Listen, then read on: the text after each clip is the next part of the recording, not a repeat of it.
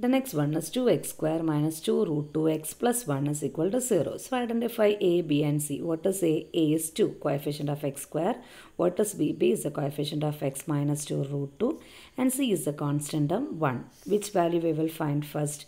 B square minus 4ac and what is it called? A discriminant. So b square will be minus 2 root 2 the whole square minus 4 into what is a? 2 into c is 1 and how we can find this value? Minus 2 root 2 the whole square means it is minus square. Minus square is positive. That is minus 1 square.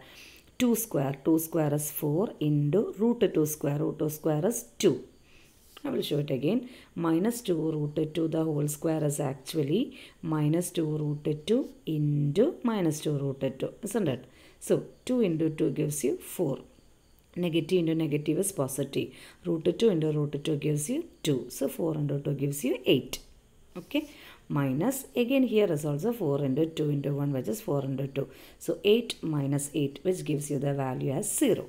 Again find the write the formula for x. x is equal to minus b plus or minus square root of b square minus 4ac whole divided by 2a that is equal to minus b. What is b? Minus 2 root 2. So minus b will be minus of minus 2 root 2 plus or minus square root of. What is b square minus 4ac? 0. So square root of 0 divided by 2 into 2.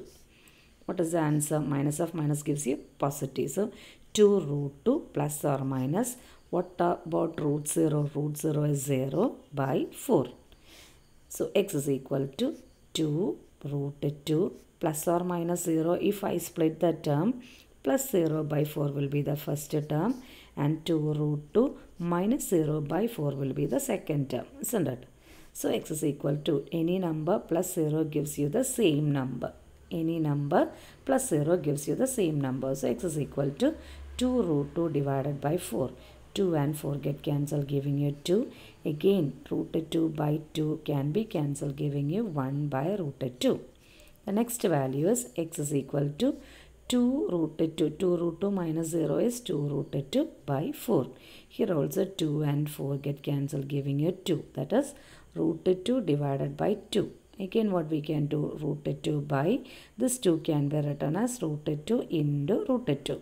So 1 root 2 gets cancelled giving you 1 by root 2. The same happens for this case also. So here the value of x is 1 by root 2. Here also the value of x is 1 by root 2. In the previous question also I told when the same value comes you have to repeat and write the uh, roots twice. Therefore roots are 1 by root 2 comma 1 by root 2. You have to express both the roots. Roots are 1 by root 2 comma 1 by root 2.